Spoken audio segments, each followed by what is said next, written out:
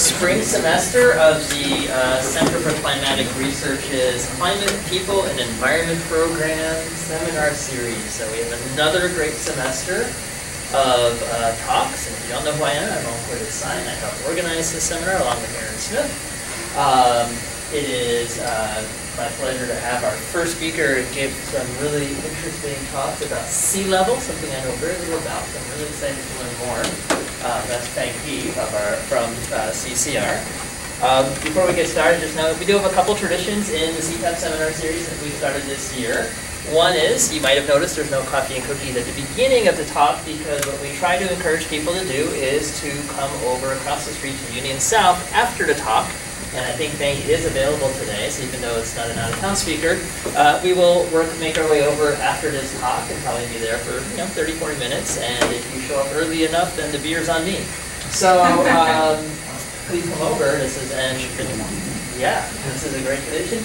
We also have another tradition, which is it's perfectly fine to ask clarifying questions during the talk, but we do want to prioritize giving students and early career scientists the opportunity to ask questions at the end. So dying to ask a question, just I'll ask for those first, but then feel free to ask away as as you want afterwards. But just want to encourage as much discussion as we can, given that this is usually a pretty modest-sized seminar designed to really help pursue ideas. And finally, if you are interested in some point in this semester, or, well, this semester we're full, but in the upcoming year or next year in giving a CPEP, CPEP talk, either because you have some fun results coming out, or you've gotten some recent funding or a recent paper, uh, just let me know. Uh, we will start scheduling relatively soon. Uh, we may be doing something different a little bit with next spring where we're going to try to uh, focus on polar climates uh, to line up with our new cluster hires. Uh, but stay tuned for more information on that. And with that, I'm going to pass it off. I got the Feng CV here in case you don't know. you've been here for, for, for, a number of years. Um, I'm sorry, can I make an announcement? Yeah, go ahead. Announcements, go ahead. Yeah, so just, probably most people are aware, but you have the cluster hires starting next week, Mondays right. and Tuesdays. Good point. Um, in geosciences, in AOS, and then a cross-departmental search on the ecology side. Right. So you'll, you'll, we'll be having three candidates come in on Mondays and Tuesdays every week for February with the individual research talks on Monday afternoons, and then the sort of panel, clustered panels Tuesday afternoons. So At the, at the time, in Weeks Hall. Correct. Weeks Hall, right. Correct. So that is going to be the next three CPEP time slots. Four. Four. Yeah. Right. Four, however many there are. Can't count. Uh, so yeah, actually, before we, sorry to take up a little bit of time. Yeah, so starting next week, that will be uh, the next four talks will be these uh, CPEP, uh, or there'll be these speed talks with the three candidates over in Weeks Hall. So please go to those. Um, don't go here because there'll be nobody here. Um, I should point out that next week's CPEP, to, uh, to accommodate that, we are moving the, our guest uh, out-of-town speaker from uh, Natasha MacBean from uh, University of Indiana. She'll be speaking at 11 a.m. in this room on carbon cycles and carbon cycle data assimilation. Um, that's actually joint with the bioclimatology class, grad class that I teach, so there will be some students here as well, but please, it'll be open to everyone. It'll be 11 a.m. in this room as well next, next Tuesday. Okay, so Feng, Feng, Feng. Uh, Feng has been here at the Center for Climatic Research as an associate scientist uh, currently. Um, got his bachelor's degree in marine science from Ocean University of China, and then came here to UW-Madison way back in 2008, so just about, uh, or 2007, I guess, about the same year that I got here. And got his master's and PhD, uh, and then stuck around to do a postdoc in paleoclimate work, went to Oregon State uh, as a NOAA Global Change Fellow, uh, for several years, and then came back here as a scientist in CCR. And since that time, he's published numerous papers, including a number of really uh, interesting high-impact papers on uh, paleoclimate models. Has run some of the most extensively long paleoclimate models I've ever heard of. And I think today we'll hear a little bit about some of that, about discussions about higher global sea level during the last interglaciation. So with that, I'll pass it on to you. Thank you, Ankur, for the wonderful introduction. So since I know uh, most of you, so we can make it really informal and uh, please ask questions so everyone can benefit from the more in-depth discussion. Uh, however, I want to emphasize that uh, the rise is a very serious problem, and I will show you uh, very soon. So, so far we have already seen about like uh, 20 to 25 centimeter sea level rise in the past 130 years. So uh, this record goes from 1880 to, believe, 2010. Um, it's about eight to nine inches, and uh, you might feel it might not be uh, such big. It's only like uh, that much. However, I will show you uh, uh, the impact of sea level rise is very broad and uh, sometimes very serious. So the more so those are the major uh, impacts from the sea level rise. So shoreline erosion and degradation, and the amplified storm surge, and then the, the permanent uh, inundation. And, and then I will show you um, saltwater uh, intrusion. So, do you know what percentage of American population live near the coast? Multiple choice. Hundred, hundred of coast. Yeah, around here, fifty percent. Uh, but like uh, live near the, the county of the coast. Coastal county. Yeah, for the county. Ninety percent. Sixty percent. Seventy-five. This is the number. So thirty-nine percent. But that number is in like uh, 2010.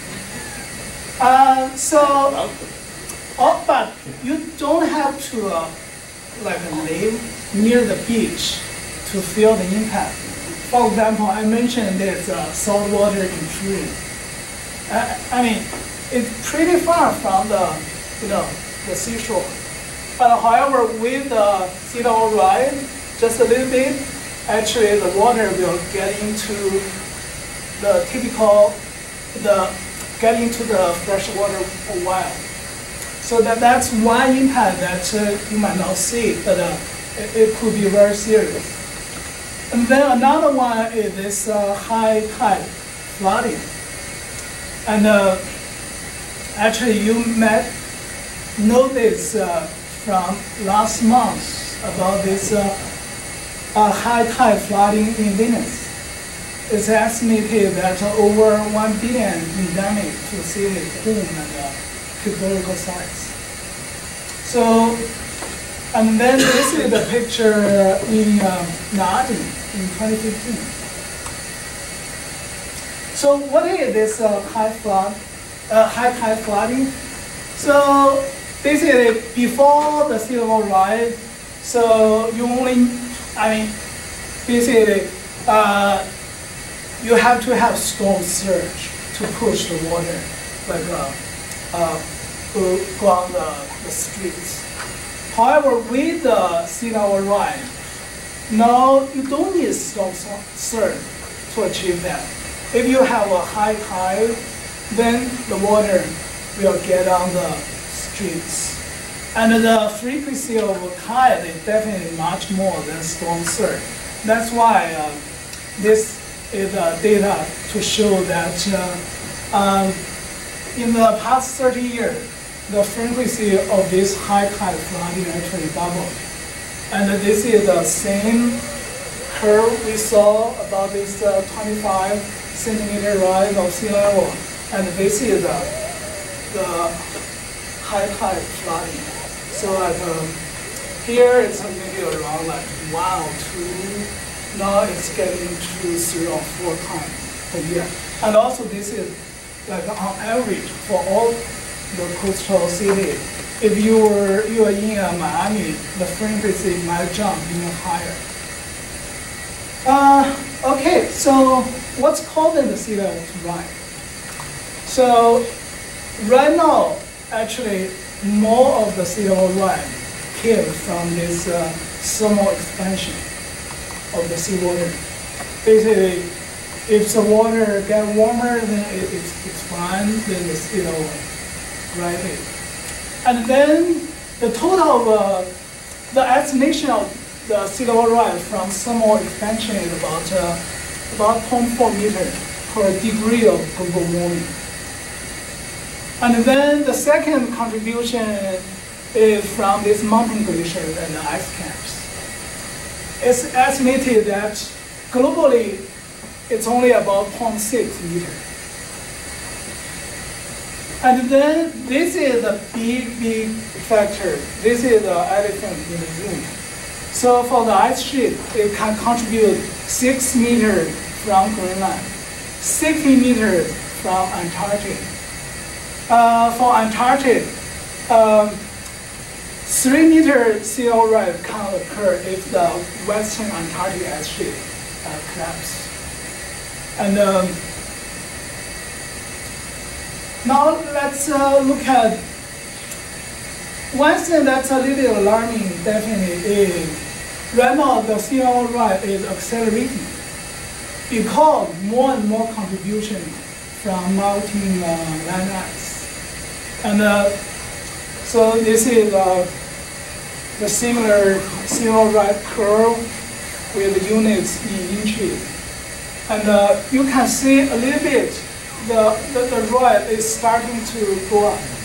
The, you know, the gradient, the rate of the level rise started to increase. And this is the, the kind of comparison of the, so this is the almost like 35 year um, kind of a calculation for the, for the rate of sea level rise. Here, thermal expansion contribute this much. Then this is from melting land ice. However, if you do the same calculation of rates of sea level rise, you can see with, with the later half the record, you can see the land ice is contributing more and more. So is that inferred from, say, see, basically taking total sea level and subtracting what you would expect from the thermal expansion, or how do they measure land ice sea level? Uh, it's from the, the GRACE satellite. Okay. So it can measure the I think, gravitational chain or geopotential. Okay. And it, it's, uh, yeah, That's, based that's that. enough to figure out how much land ice is contributing. Wow. Yeah. Well, they can also calculate the heat content, right, and just get, calculate the thermal Oh, that's what I was expansion. thinking, right? Yeah. Thermal. Yeah. I was just wondering if, you know, if it was a residual, just how much uncertainty is there in thermal expansion? 'Cause It seemed like there's been a lot of papers suggesting lots of deep ocean warming that we don't account for. Yeah. Even for this thermal expansion, the uncertainty is uh, on average 0.4, but the uncertainty is like from 0.2 to 0.6, depending on which model you are using and uh, even in that model, what kind of uh, circulation you get, uh, depending on different kind of uh, word of the, of the model. Um, yeah, definitely there are a lot of uncertainty here, uncertainty here. Uh, however, those uncertainties are much, much smaller if you look at this uncertainty estimate from the level rise scenario for the end of this century. So the lowest estimate, basically kind of an interpolation, uh, basically extension of this uh, baseline level rise of the, the past, it's 0.2 meter. However, there you get like two meter of level rise at the end of this century. And this is based on this NOAA kind of uh, synthesis in 2012. So basically, they commented that at this stage, the greatest uncertainty surrounding estimate of fu- future global sea level is from the ice sheet loss primarily, primarily from Greenland and West Antarctic. And uh, you can tell it's really hard for people to do like uh, for the facility or infrastructure to do planning if they uh, face this kind of uncertainty for the future civil rise. And this figure is in 2012. So let's look at the figure, the number last year. So this is a, a kind of a structured expert judgment. Basically, it's kind of an expert assessment. Uh, their conclusion is, first, they commented that uh, the potential contribution of ice sheets remain the largest source of uncertainty in projecting future level rise. So then they come, they basically uh, provide a consistent, consistent number for the future sea level rise of about two meters for the end of this century at the, their upper bound, the 95th uh, percentile. So at, at the end of this century, so this uh, two meter sea level rise, sea level rise is still uh, cannot be ignored. And in addition, uh, right now more and more people are realizing that um, this upper bound is not totally useless. I mean, maybe sometimes it's, it's more important for the planning purpose. It's like, uh, you know, you go out to buy a sandwich, you have to know, uh, or you go to a grocery to do some shopping, you take some cash. You have to estimate like uh, the upper bound. So this is the same kind of uh, philosophy. You, you have to know like uh, how much you, you, you, might expect. Otherwise, if you build something and uh, you cannot use the average like sea level for your planning because there is a very large possibility it will fall, uh, it will be over the, the average value. And also, they actually give another uh, prediction for like the 22nd century. What they estimate is about 7.5 meter of sea level rise can be uh, can be as a result of the instability of the uh, both western and eastern Antarctic. So here, let's uh, do a summary of our current and future level rise. So currently, what's already happened is only about 20 to 25 centimeters. However, that number is increasing and uh, the change is, is accelerating. And then we are facing this uh, huge uncertainty of uh, the level rise at the end of this century because we basically just don't know what uh, both Greenland and Antarctic actually will behave. Why Milton? And I'm sure the rest of your talk's going to tell us about that. But why? Uh, actually, no. This is the exact uh, question I want to ask. Oh, Any recommendation? what needs to be done? Good. Glad I know. You seem to know lots about where it's going to warm up and with some bounds in a lot of different parts of the globe. Why don't we know that over Greenland and Antarctica? It's not so much the uncertainty and how much it's going to warm, it's the uncertainty and instabilities in the ice sheet. So where is the grounding line that keeps them, where is that location in the ice sheet where the grounding line is? And, and what's the stability of that slope? And that's not well known. Um, And how come that's not well known? well, it's probably, they probably have the, the slope right, but then it depends how the ocean and the ice interact, how fast things can retreat, how, if the ice sheet is in an unstable grounding zone line. Um, there's also, I think, something called a marine ice cliff instability, something like that. I forget exactly what that one is, where the ice cliffs start. Um, I can speak to that. Yeah. Basically, basically, you know, the, the new ice model physics are trying to model the process of an ice sheet sort of crumbling backwards. And mm-hmm. as it keeps losing its buttress, the next cliff collapses, and it's a much faster rate. So new models have brought that in, there's a much faster rate of ice loss into the ocean when you have this sort of cliff instability mechanism.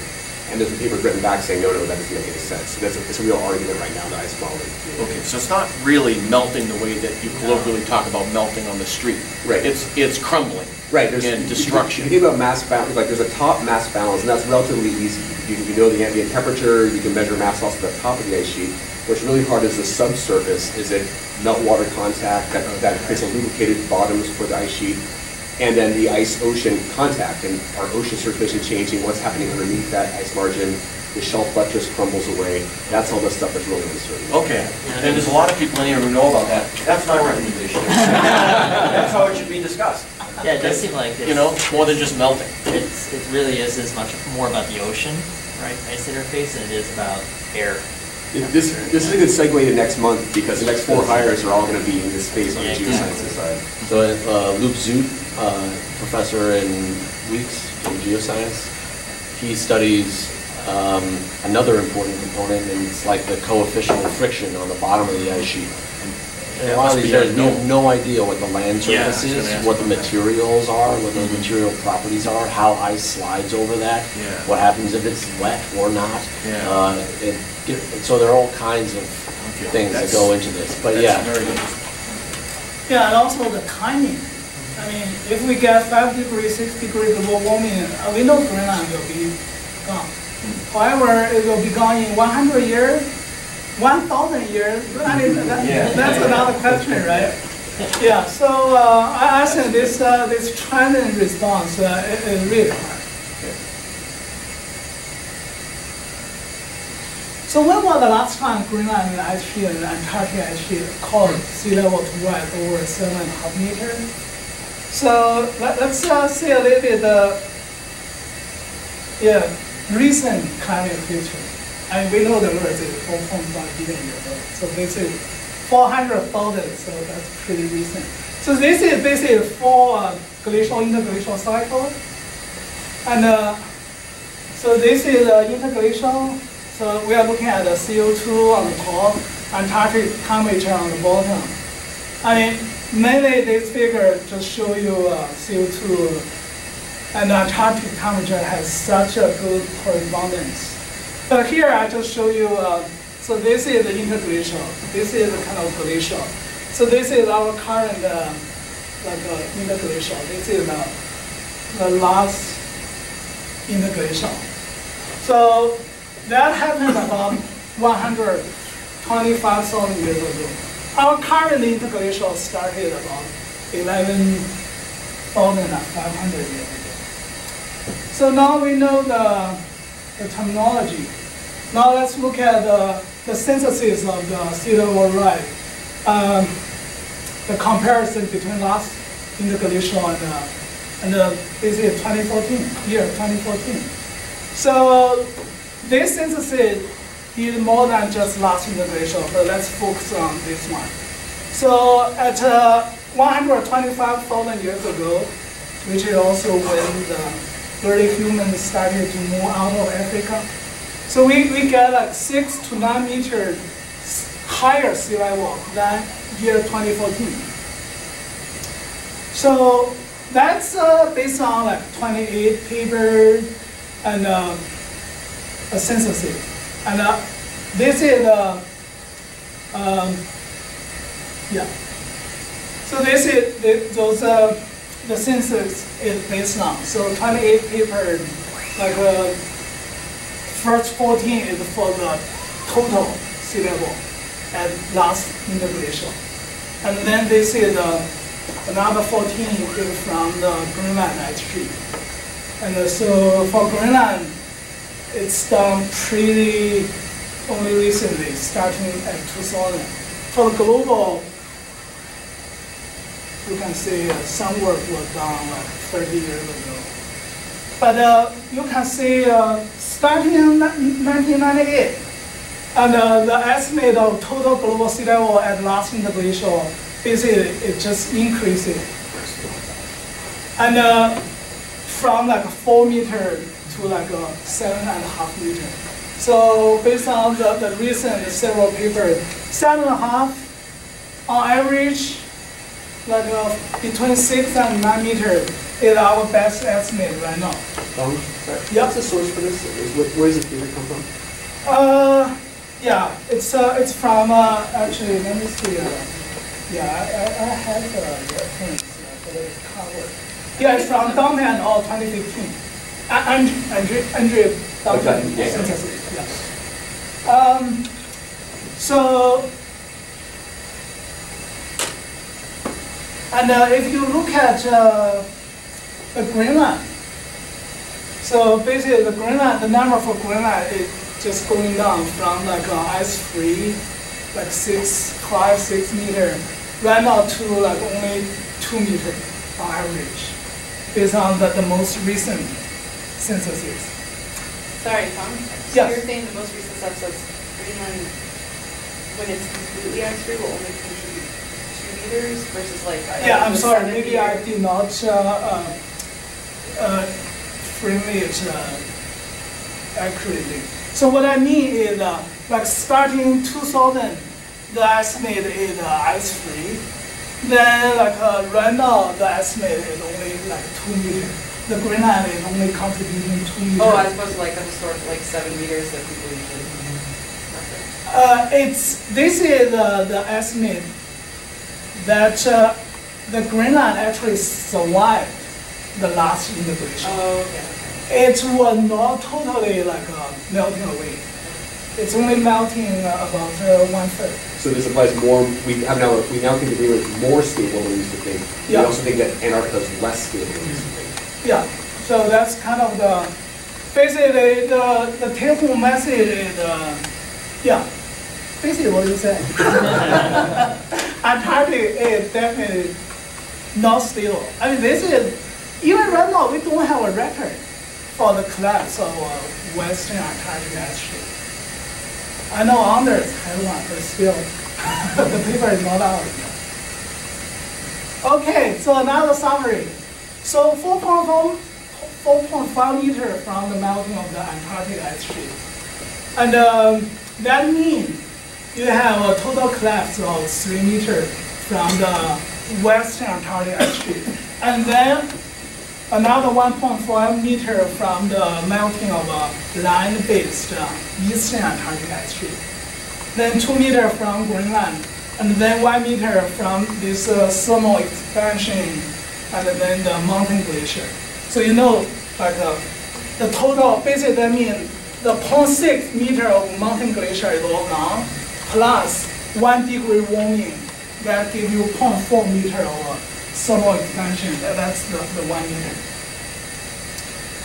Okay, let's uh, take a look at this uh, based on, from a different perspective, from the climate forcing and the sea level response perspective. So here you, we see for the climatic forcing for the sea level or for the melting of a glacier. So you got about six to nine meters sea level rise. However, the warming is the same. It's one degree. So that means uh, it's not like uh, we have a higher sea level because our climate is warmer. Even more so is for the CO2. Because at the last interglacial, the CO2 is basically the, the background, the interglacial CO2 level. However, at 2014, our CO2 is 400 ppm. So this higher sea level definitely not from higher CO2 from last interglacial because the CO2 is, was not higher at last interglacial. Yeah, say that, yeah, that's the, the second point. So, I mean, for me as a climate scientist, this is really, really bizarre, right? You have a six nine meter higher sea level at the last interglacial, you are not warmer, and your CO2 is lower. So, wow, that's uh, that's interesting. So, what's causing the sea level to rise six to nine meters? At the last interglacial with the lower CO2 and uh, the same amount of global warming. Any suggestion? Is it just CO2 is going up so fast right now that, Yeah. the inertia? That's what I, I, I wrote here. So i- i- that just because uh, it's uh, just a matter of time. And uh, one degree global warming will cause like uh, six to of sea given sufficient time. I mean, it's a pretty good argument to me. So Feng, I always thought, I mean, when, when people invoke Greenland more, that they invoked a higher summer insolation during that last interglacial, slightly different orbital configuration. But now that Antarctica is coming up, yeah, it does seem like a puzzle. Where, how do, why do people think Antarctica is so stable in the back Yeah. configuration? That's a good point. So Jack is suggesting it's, it's because higher summer insolation, And we know uh, last interglacial had much higher summer insolation than the summer right now. because uh, the, the, the Earth's orbit is more eccentric. So the summer at that time, like right now we have a cooler summer actually. At that time, they have a much, much warmer summer. Is there any tectonic differences, especially in Antarctica? compared to that? Yeah, and uh, I believe uh, if you look at all the previous interglaciation, and uh, they show uh, like uh, uh, the, the previous like, like this synthesis, they show uh, 125,000 year, years ago, it had like six to nine. Then 400,000 years ago, it's even higher. So what I mean is, uh, it's, it's not clear the tectonics will go along with the, Yeah, it with the orbits, with the Earth's orbit. What about, I mean, I tend to think of, I'm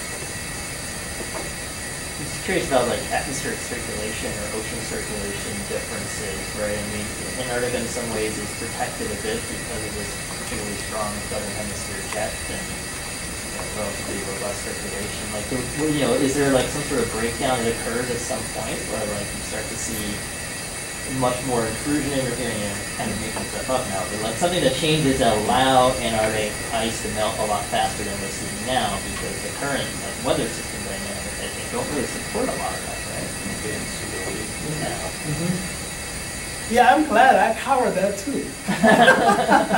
so it's something like other than this warming. Basically, it's something else that uh, we we are just discussing that uh, we typically don't think about it as a climatic force. So at least definitely no CO2. That's okay. So another summary. I mean, it's, it's a little bit depressing, right? We, we saw so many like uh, what we don't know. so we are facing huge uncertainties of the future level prediction. And uh, we want to look at something uh, in the past to find some clue. Then it's even more puzzling. so actually, I think everyone knows this happens all the time for our re- research. It's always like that. It's not like uh, what you plan always happen. Uh, however, what else can you do?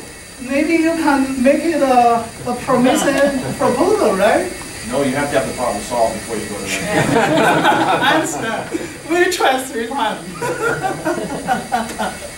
okay, the motivation. So yeah, so it's the same model, right? If you want to predict future sea level rise, you have to use model, and uh, it's the same model that uh, you basically we are doing right now. So one reason we don't know the ice sheet response right now is only because it's still very early for the development of ice sheet model.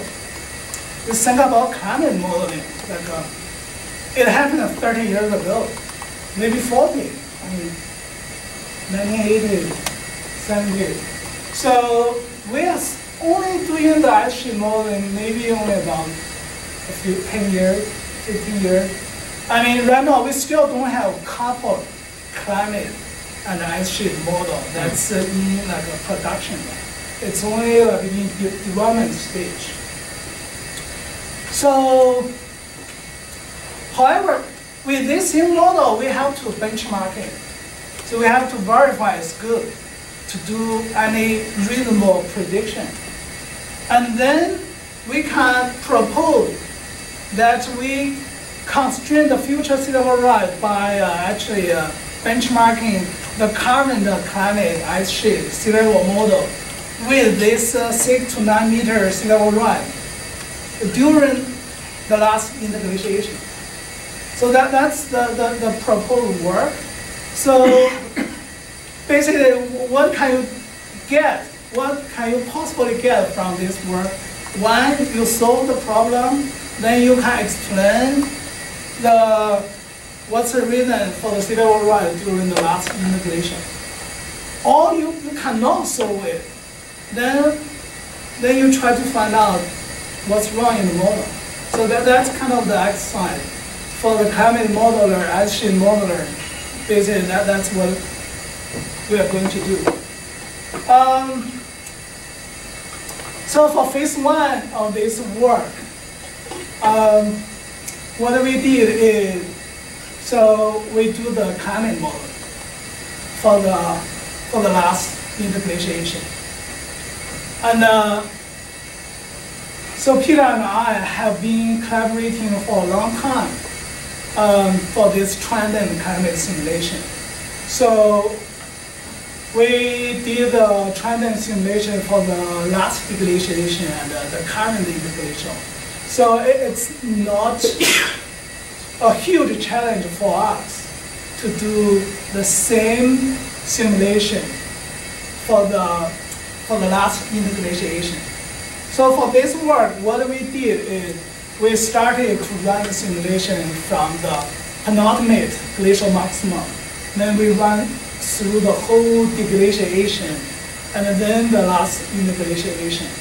So that work took us um, almost four years, mainly because we have to design the, the, the correct scheme and we try different uh, like freshwater forcing to make the model consistent with uh, the, the, the, the paleoclimate reconstruction.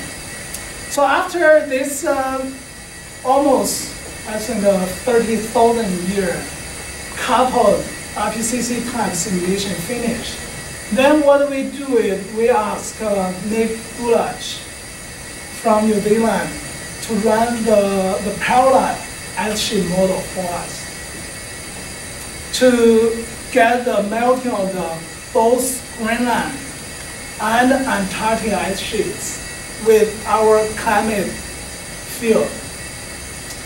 Uh, in addition, um, Nick proposed that because the current uh, ice sheet model has so many parameters that it is totally unconstrained. So what he did is he ran like uh, several thousand simulations with the whole parameter like uh, possibility, and then find the best one that uh, can reproduce the the last deglaciation and the current uh, interglaciation. No, just reproduce the current interglaciation of the Greenland and Antarctic ice sheet. So he used those parameters in the parallel ice sheet model to conduct this uh, offline ice sheet only simulation. So for those kind of work, there is one uh, caveat. So a lot of people have, have showed, if you don't couple the climate and ice sheet together, which we cannot do that right now for, for like a 20,000 year simulation, mainly because the, the climate model is not coupled with the ice sheet model yet. Uh, but if you don't couple them together, you, you lost a lot of positive feedback. And that will underestimate the melting from the like uh, from the like surface mass balance. So that's one caveat there. So then after uh, uh, Nick did the ice sheet simulation for both Greenland and uh, and uh, Antarctic, and uh, we want to verify our model is good to reproduce the sea level record. In order to do that, we need a, sea level model. Basically, it's a glacial isostatic adjustment, adjustment model.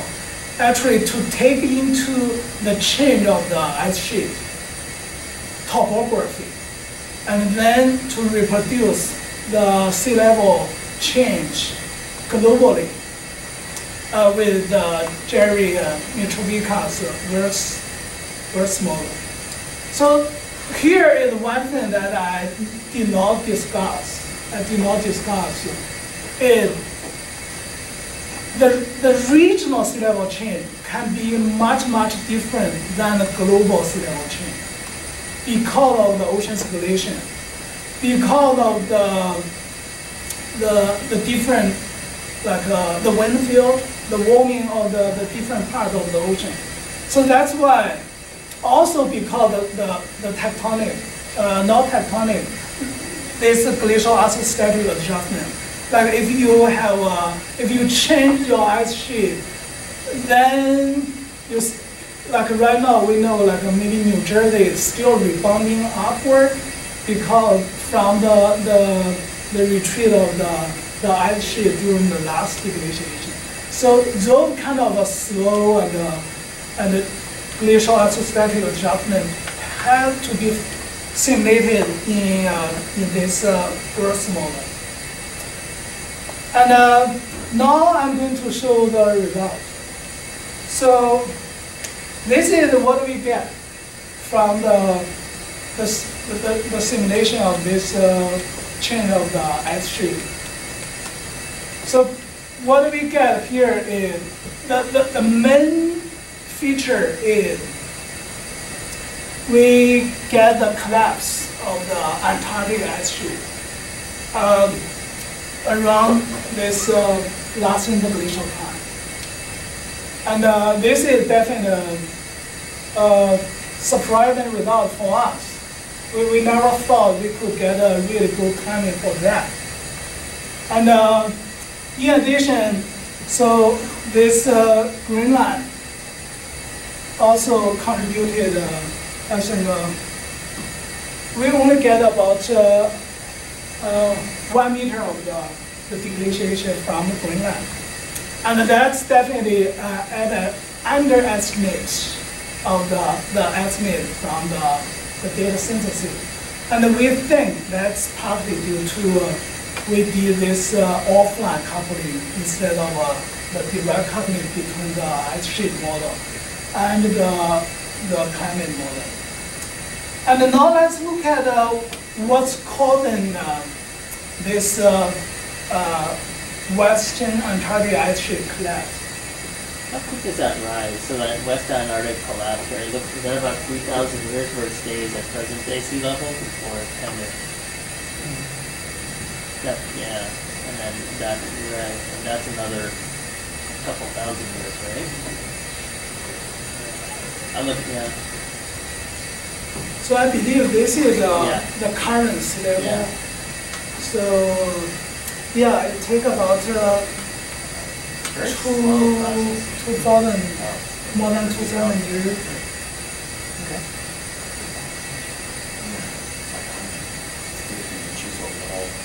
And the forcing is much slower too. than that. Right, right, it's not, right.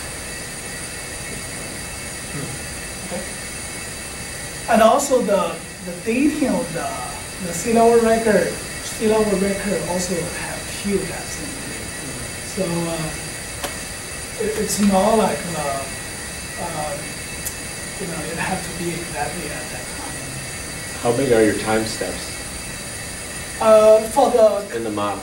in the model, the climate model is uh, basically like uh, 20 minutes, 30 minutes. It's a typical IPCC climate climate model. Yeah. Just name your hour and you'll get it. Um, I mean, the ice sheet model can be run like uh, 5,000 in a few days. So uh, uh, the ice sheet model will be really quick. And um, both the sheet model and the, the Earth model for the sea level have been run like 5,000 or 50,000 uh, realization to do the estimate of uncertainty. Uh, we could not do that with, uh, climate model. So this is what happened. Exactly like uh, Ankur suggested. It, it's in the, what happened in the model is due to this oceanic forcing. So what's the oceanic forcing? So basically, if you have like a, it's a marine-based like Western Antarctic ice sheet. So you, if you have like a warmer deep water get into like uh, below the, the, the ice shelf. And uh, it can melt the, the, you know, the bottom of the ice sheet quickly.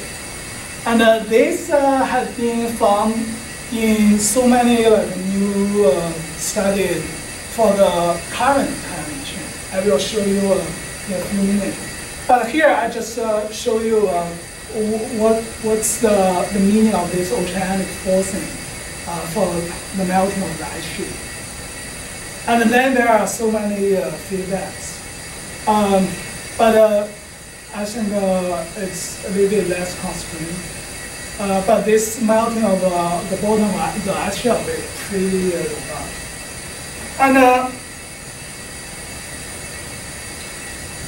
so, so in the model, the subsurface warming actually is caused by this so-called Heinrich events in the paleoclimate community.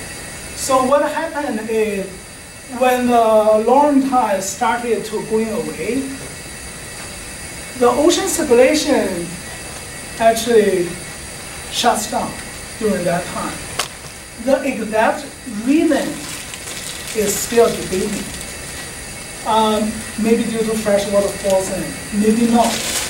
However, the shutdown AMOC during the deglaciation is very robust. And uh, this so-called uh, uh, Heinrich events happen in both deglaciation, like uh, for the last interglacial, it's called penultimate deglaciation. For our current interglacial, it's called the last deglaciation. So basically, it happened. It, it, it almost always happens during the deglaciation. If you uh, accept the mechanism for the fresh water forcing of uh, AMOC shutdown, after you accept it, then it's all make, it, it all makes sense. So basically, you have melting of ice sheet, then it, it will shut down anymore. However, there is a difference between our current, uh, between the last interglaciation, like happened like uh, about 15,000 years ago, and this uh, degla- the penultimate deglaciation that happened about 130,000 years ago. The difference is, at that time, it's much, much longer. So the, like the AMOC was shut down for the whole deglaciation, like 8,000 years or 7,000 years. However, for the last deglaciation, it's only shut down about like half of that time.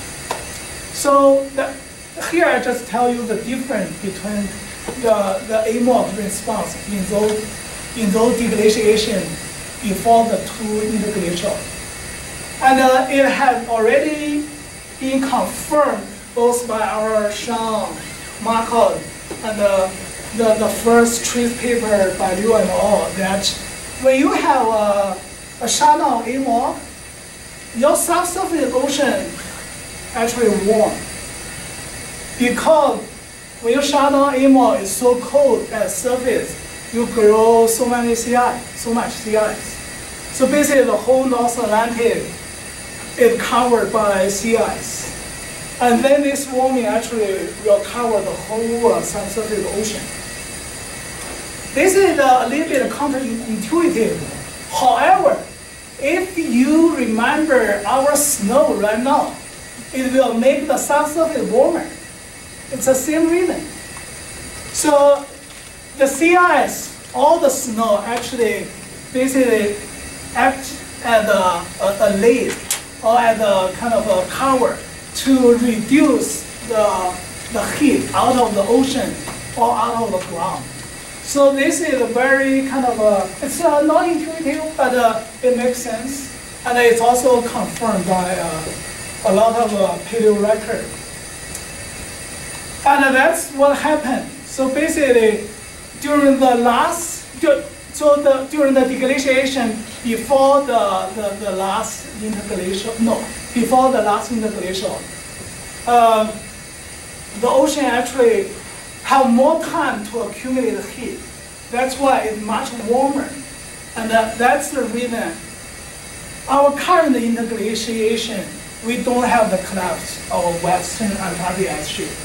However, during the last interglaciation, the subsurface ocean is warmer, and actually it, it, it melted the Western Antarctic ice sheet. That, that's the basically the, the, the major reason why we got Western Antarctic ice sheet collapsed in the model for the simulation. Um, since the model's being run, the ice model is being run offline, how sensitive is that to the precise temperature? In other words, if the temperatures are, you know, have an uncertainty of one degree C, how much of an effect does that have on the estimate of how much ice sheets melting? Um,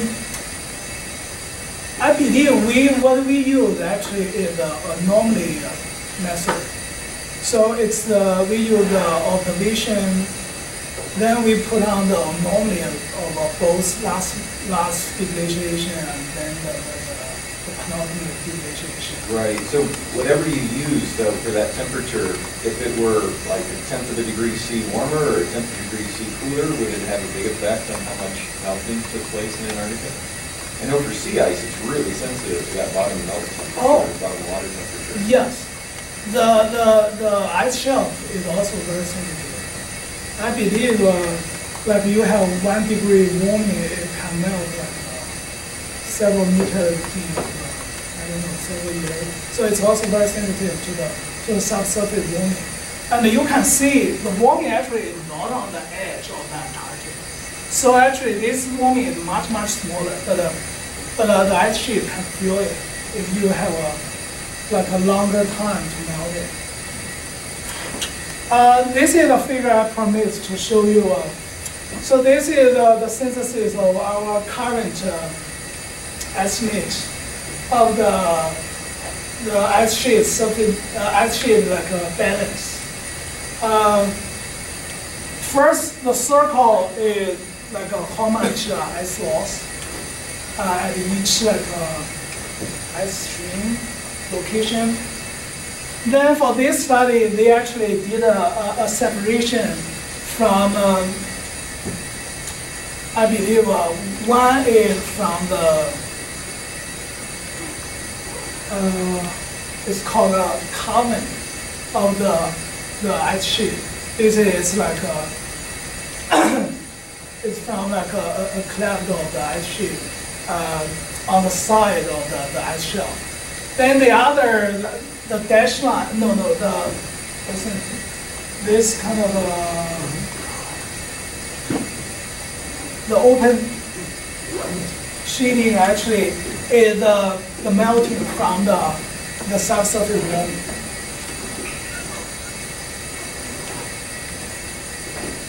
Oh, actually, it's opposite. So this uh, cross sheeting is calving, and then this is from the melting. So the, the, the dark uh, sheeting is, is the melt, melt. So what, what this study show is the melting from subsurface warming almost contribute like half of the, the total Antarctic uh, ice sheet uh, melting based on the, the, the observation. So this is uh, just show this uh, subsurface uh, like oceanic forcing actually is uh, also consistent from our current observation. So like here said uh, about 50% of mass loss from Antarctic ice sheet is from oceanic forcing. And uh, then this is the take-home uh, message. So basically, uh, the sheet is very sensitive to this uh, oceanic low blow.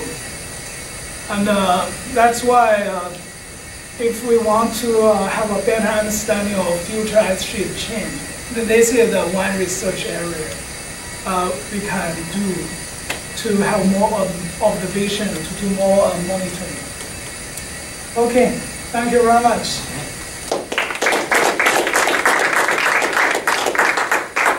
That's great discussion, but if there's any more follow-up questions, anybody?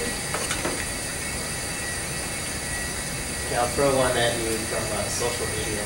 Um, this morning, actually, one of my um, climate change denying Facebook acquaintances from high Okay. school, I refuse to say friend, um, uh, basically posted an article from NBC News saying there's some Greenland glacier that's growing. I'm saying, well, this of course disproves all of climate change, but ignoring that part, um, yeah, what is going on? I mean, do you know, are you familiar with this article? I guess there was just some study that came out suggesting there's some areas of, of un- unexpected growth in, in glacial mass in parts of Greenland.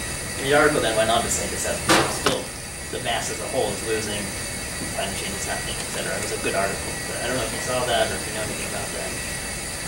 Yeah, actually, um, I was with a related study to uh, estimate the, the surface mass balance for, uh, for Antarctica. Ba- Basically, there is this computation that uh, I, I actually knew even when I was a, a graduate student. That the glacier grow like due to uh, more precipitation in the warmer world, or it's going to melt due to uh, the temperature. So there are two like competing factors. So temperature and then precipitation. In, in a warmer world, you expect actually more precipitation in the high latitude. And you also expect more like a, a warming, like a So that's why it's, it's not easy. So we will have to use uh, some kind of a modeling, climate modeling to actually, Yeah. to find who is winning, which, which factor is, is winning. Yeah. Just, just to follow up on that, from reading the the applicant profiles, one of the persons coming in, on I think on the AOS side, Yeah. has been looking at sort of changes in the jet stream and how that changes Yeah. moisture delivery to different parts of the Greenland ice sheet, and what that might be doing to ice balance modeling. Yeah, that's really cool. Yeah, um, It's really interesting. I, I know almost nothing about any of this, so I'm really glad I came. You gave a good talk. The uh, ice in the, in the Atlantic, especially in the North Atlantic at prior times, did that rev up or have no effect or decrease tropical cyclone activity in the subtropical Atlantic? Because your model's at every 20 minutes, you could probably. Yeah, actually, it, it touches another uh, central piece of uh, paleoclimatology. So, I, I was still kind of uh, trying to make a proposal to do uh, the, the, the response of uh, Southern Hemisphere westerly during the North Atlantic cold period. And one thing for sure I know, uh, like right now, uh, so many people did the global warming scenario. So when you have a warmer hemisphere, your ITCZ actually will be kind of uh, attracted to that location. So it's the same thing when we have these uh, so-called Heinrich events. And the ITCZ definitely moved to the warmer hemisphere. Okay. However, I still don't know the, so I know pretty sure ITCZ moved southward, mm-hmm. more to the southern hemisphere during like deglaciation when CO2 is getting out of the ocean. However, I don't know the, basically the controversy is whether your southern hemisphere westerly also move along with your ITCZ. Mm-hmm. So basically, you're coupling between your tropics and the, and the subtropics. Um, because uh, that channel, Hemisphere westerly, is supposed to uh, drive up the upwelling in the Southern Ocean to give you the CO2 in the atmosphere. And that's the central part of the whole deglacial CO2 story. And uh, the current consensus is the model don't get it. The model don't get the coupling between Southern Hemisphere westerly and the, the ITCZ. However, the data, almost, most of the data actually show uh, the westerly will change.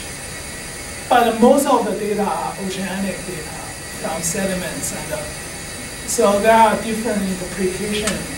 So, I yeah. wondered how the, how the subtropical Atlantic gets ventilated under those conditions. Yeah, that's, that's exactly uh, the, all the kind of uh, people are- are wondering too. because the, the ocean has all the carbon and that, that that's uh, everyone. I mean, it's a holy grail of paleoclimatology. Where is the of CO2 from? All right, well, that was end and, uh,